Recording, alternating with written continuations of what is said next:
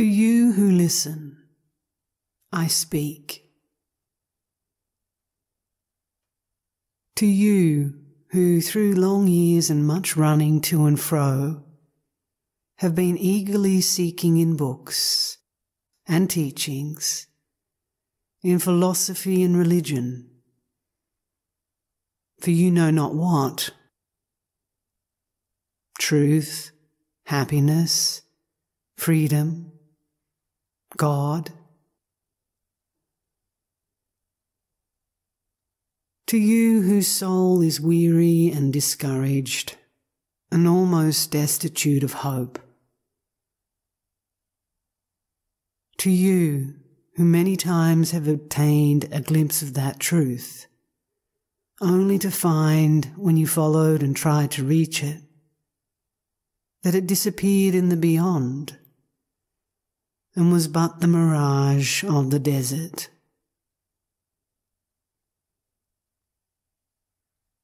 To you who thought you had found it in some great teacher, who was perhaps the acknowledged head of some society, fraternity, or religion, and who appeared to you to be a master so marvellous was the wisdom they taught and the works they performed, only to awaken later to the realization that the Master was but a human personality with faults and weaknesses and secret sins, the same as you even though that personality may have been a channel through which were voiced many beautiful teachings, which seem to you the highest truth. And here you are, soul aweary and enhungered, and not knowing where to turn. To you, I am come.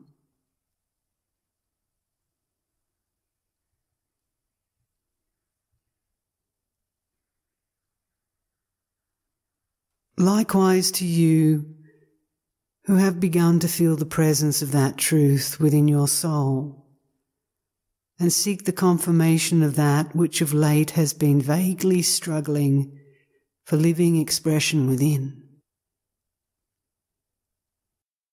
Yes, to all you who hunger for the true bread of life, I am come. Are you ready to partake? If so, then arouse yourself. Sit up. Still your human mind and follow closely my word herein spoken. Or you will turn away disappointed once more with the aching hunger still in your heart. I. Who am I? I who speak with such seeming knowledge and authority. Listen.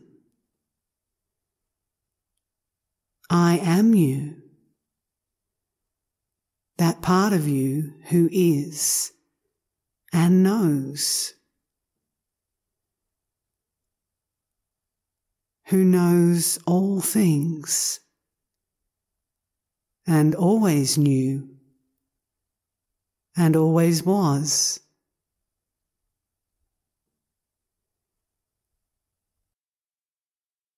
Yes, I am you, yourself.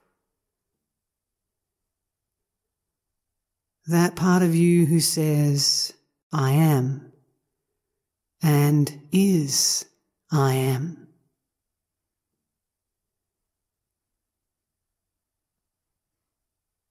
That transcendent innermost part of you which quickens within as you listen.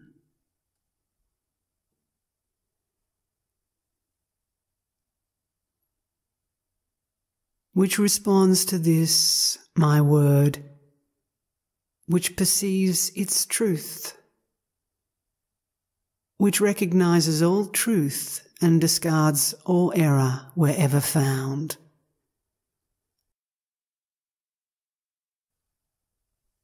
Not that part which has been feeding on error all these years. For I am your real teacher the only real one you will ever know, and the only master. I, your divine self.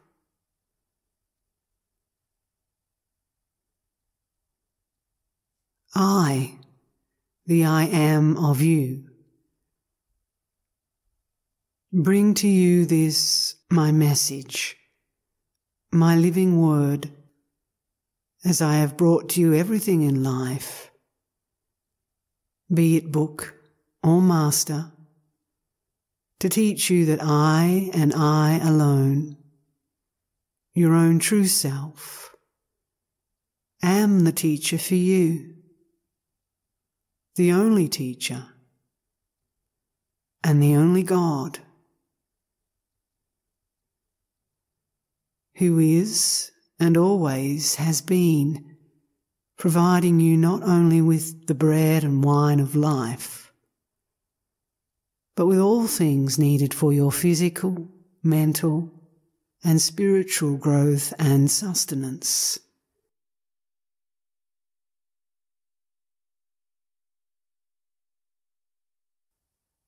Therefore, that which appeals to you as you listen is my message, spoken to your outer human consciousness from within, and is but a confirmation of that which the I am of you always knew within, but had not yet translated in definite, tangible terms to your outer consciousness.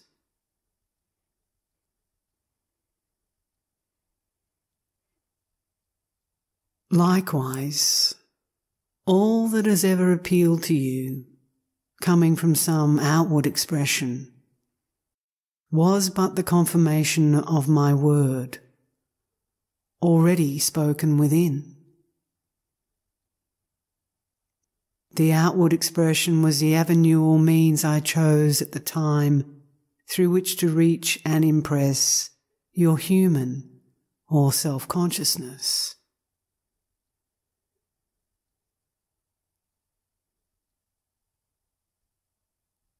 I am not your human mind, nor its child, the intellect. They are but the expression of your being, as you are the expression of my being. They are but phases of your human personality, as you are a phase of my divine impersonality.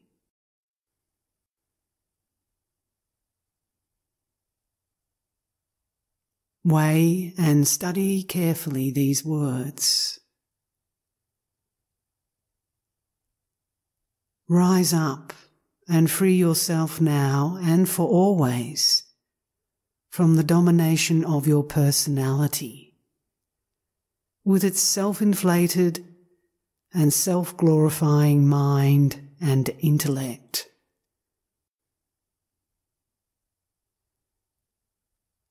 For your mind henceforth must be your servant,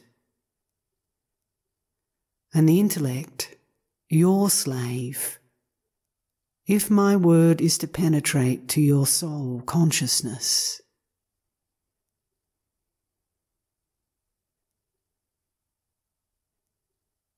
I am come now to your soul consciousness which I have quickened expressly in preparation for the reception of my word.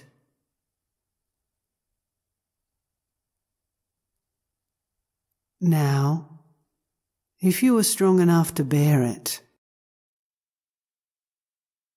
if you can put aside all your private personal fancies, beliefs, and opinions, which are but the rubbish you have gathered from the dumping grounds of others, if you are strong enough to cast them all away, then my word will be to you a source of endless joy and blessing.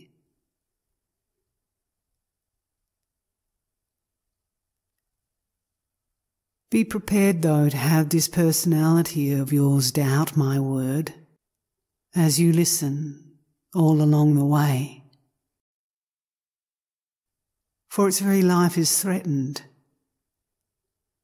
and it knows it cannot live and thrive and longer dominate your thinking, your feelings, your going and coming, as of old, if you take my word into your heart and permit it there to abide.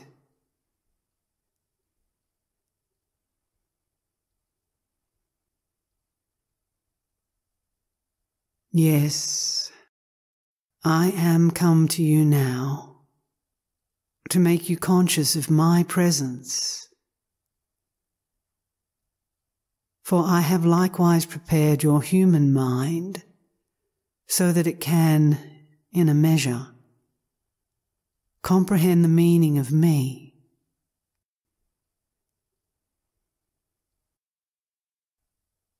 I have been with you always, but you did not know it.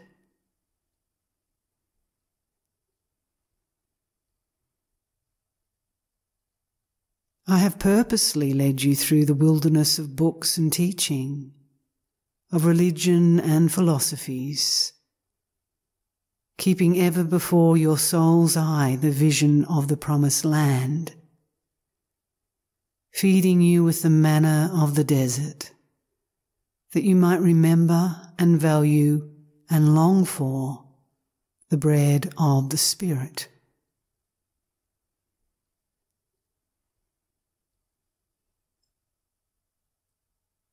Now I have brought you to the river Jordan that separates you from your divine heritage. Now the time has come for you consciously to know me.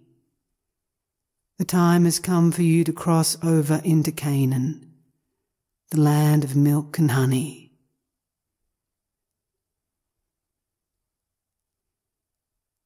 Are you ready? Do you want to go? Then follow this my word, which is the ark of my covenant, and you shall go over dry shod.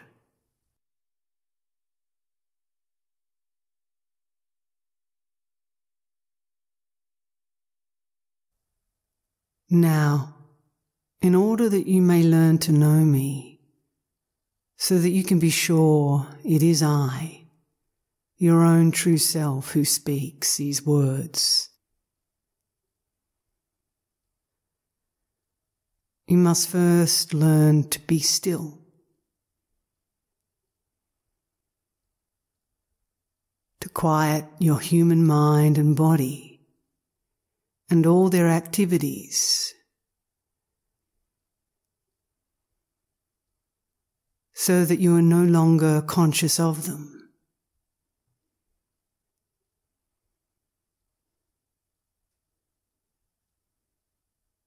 You may not yet be able to do this, but I will teach you how if you really want to know me and are willing to prove it by trusting me and obeying me in all that I now shall call upon you to do.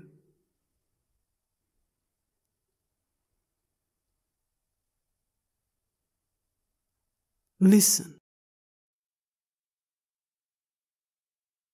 Try to imagine the I who speaks throughout as being your higher or divine self. addressing and counseling your human mind and intellect, which you will consider for the moment as being a separate personality. Your human mind is so constituted that it cannot accept anything which does not conform with what it has previously experienced or learned, and which its intellect does not consider reasonable.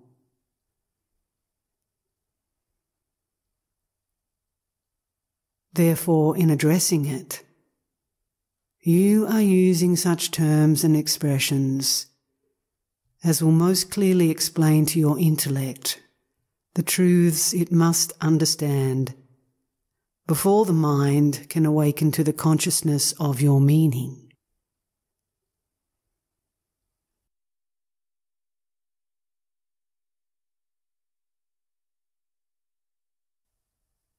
The fact is, this I is yourself.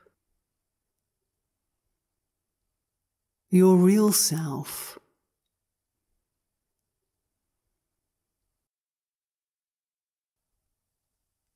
Your human mind has heretofore been so engrossed with the task of supplying its intellect and body with all manner of selfish indulgences that it has never had time to get acquainted with the real you, its true Lord and Master.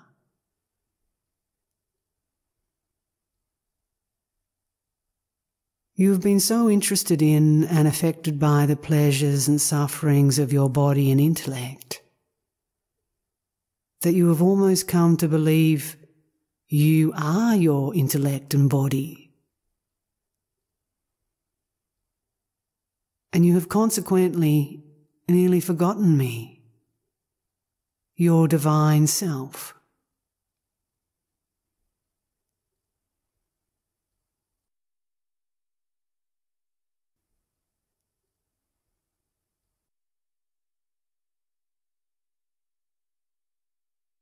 I am not your intellect and body.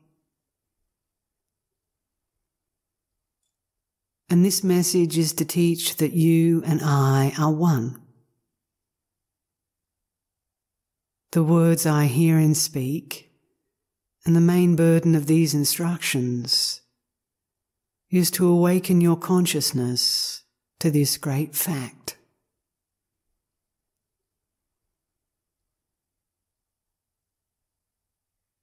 You cannot awaken to this fact until you get away from the consciousness of this body and intellect, which so long have held you enslaved.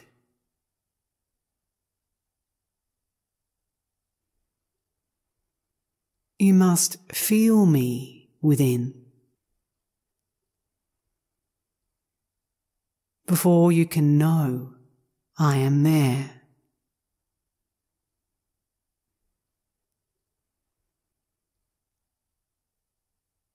Now, in order that you can become wholly oblivious of your mind and its thoughts, and your body and its sensations, so that you can feel me within, it is necessary that you studiously obey these, my instructions.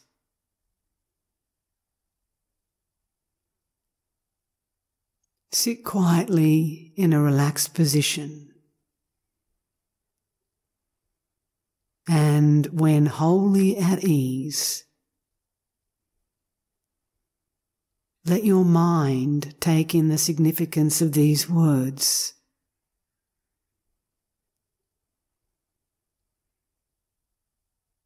Be still and know I am God.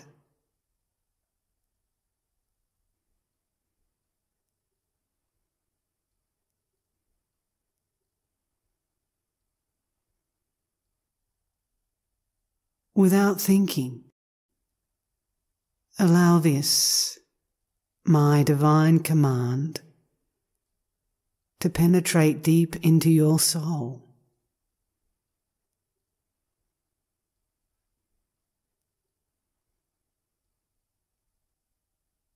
Let whatever impressions that come to your mind enter at will, without effort or interference on your part.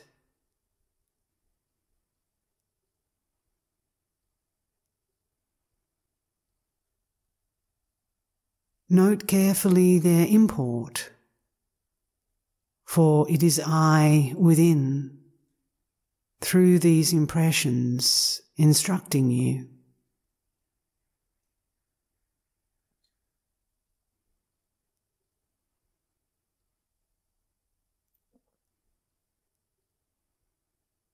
Then, when somewhat of their vital significance begins to dawn upon your consciousness, speak these my words slowly, imperatively, to every cell of your body, to every faculty of your mind. With all the conscious power you possess.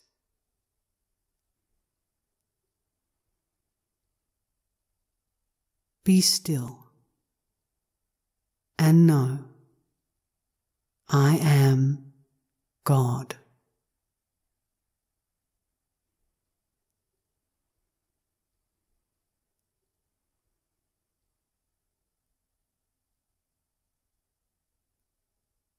Speak them just as they are spoken here. Trying to realize that the God of you commands and demands of your mortal self implicit obedience.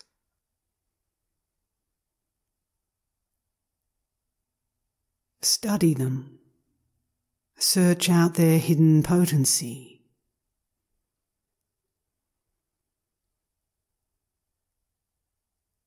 Brood over them.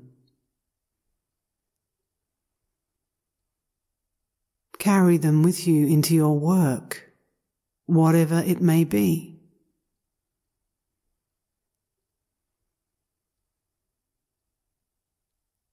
Make them the vital, dominating factor in your work, in all your creative thoughts.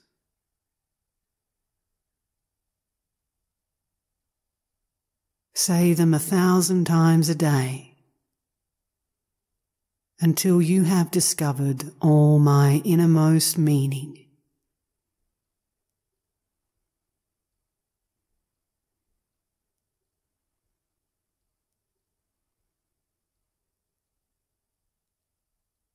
Until every cell of your body thrills in joyful response to the command.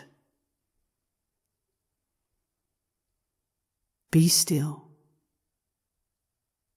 and instantly obeys.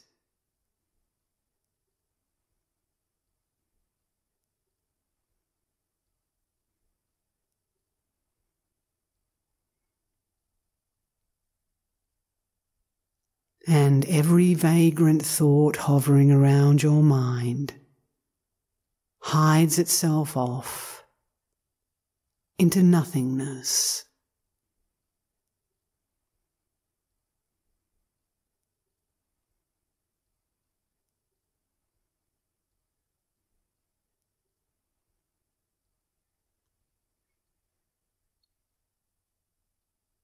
Then, as the words reverberate through the caverns of your now empty being, then, as the sun of knowing begins to rise on the horizon of your consciousness, then you will feel the swell of a wondrous, strange breath filling you to the extreme of all your mortal members, causing your senses almost to burst with the ecstasy of it. Then will there come surge after surge of a mighty, resistless power rising within you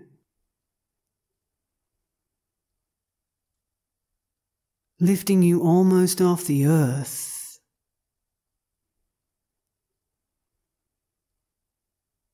Then you will feel within the glory, the holiness, the majesty of my presence.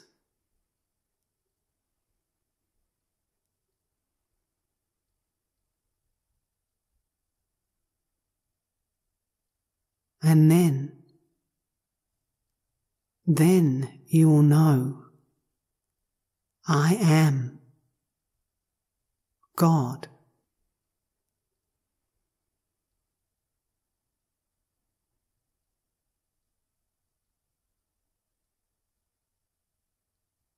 You, when you have felt me thus in such moments within, when you have tasted of my power, hearkened to my wisdom, and know the ecstasy of my all embracing love. No disease can touch, no circumstance can weaken, no enemy can conquer you.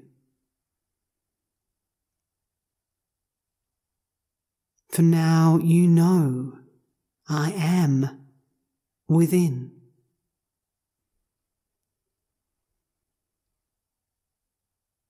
And you always hereafter will turn to me in your need, putting all your trust in me and allowing me to manifest my will.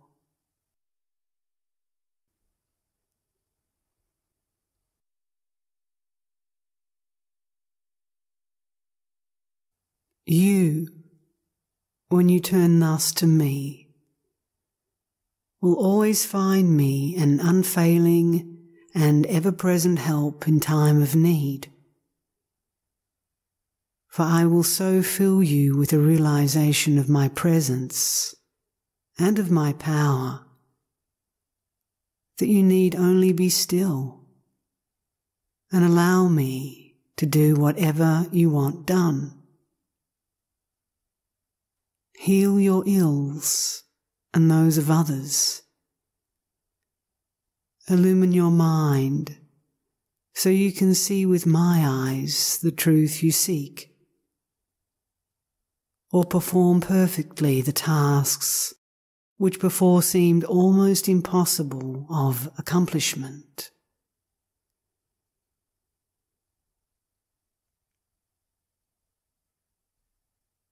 This knowledge, this realization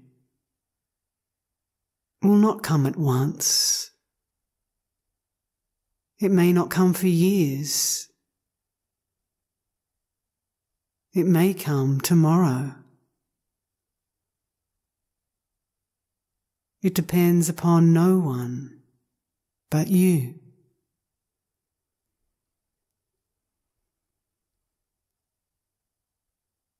Not upon your personality, with its human desires and human understanding, but upon the I am of you, God within.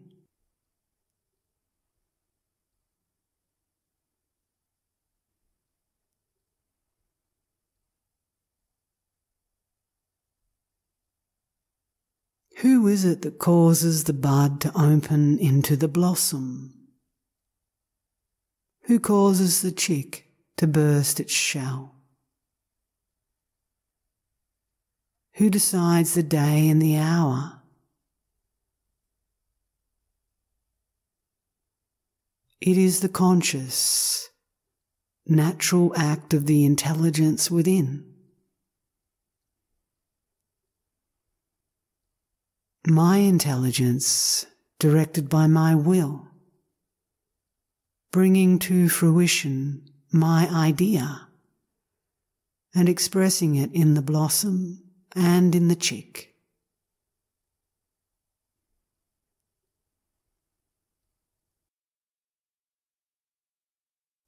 But did the blossom and the chick have anything to do with it? No, only as they submitted or united their will with mine and allowed me and my wisdom to determine the hour and the ripeness for action.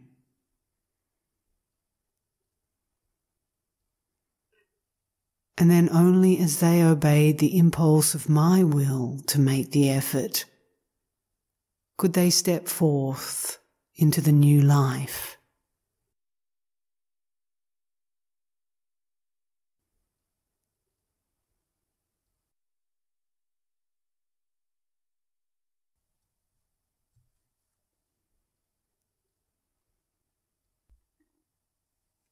You may, with your personality, try a thousand times, a thousand times to burst through the shell of your human consciousness.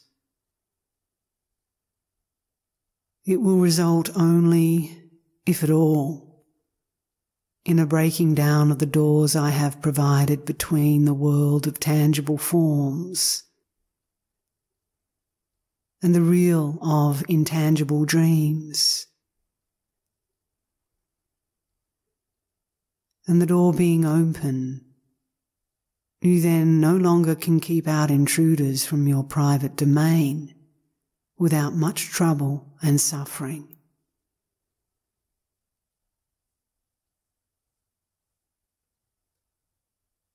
But even through such suffering, you may gain the strength you lack and the wisdom needed to know that not until you yield up all desire for knowledge, for goodness, yes, for union with me, to benefit self. Can you unfold your petals showing forth the perfect beauty of my divine nature? And throw off the shell of your human personality and step forth into the glorious light of my heavenly kingdom.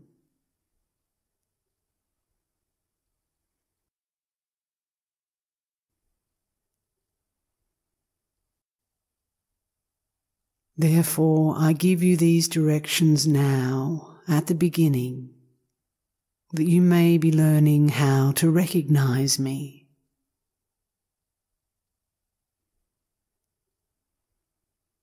For I here promise you, if you follow and strive earnestly to comprehend and obey my instructions herein given, you shall very soon know me.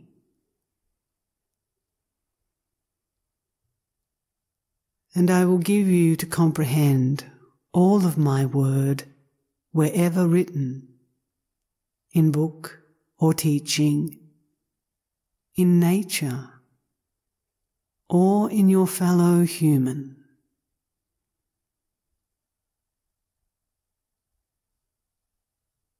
If there is much in what herein is spoken that seems contradictory, Seek out my real meaning before discarding it.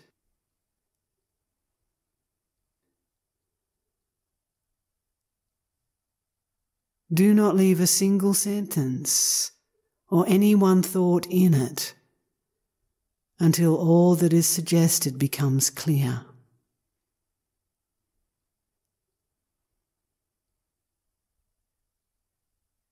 But in all your seeking, and all your striving, let it be with faith and trust in me, your true self within.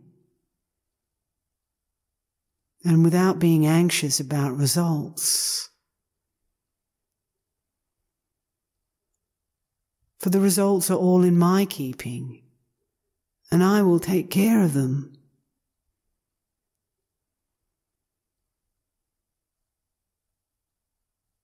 Your doubts and your anxiety are but of the personality. And if allowed to persist, will lead only to failure and disappointment.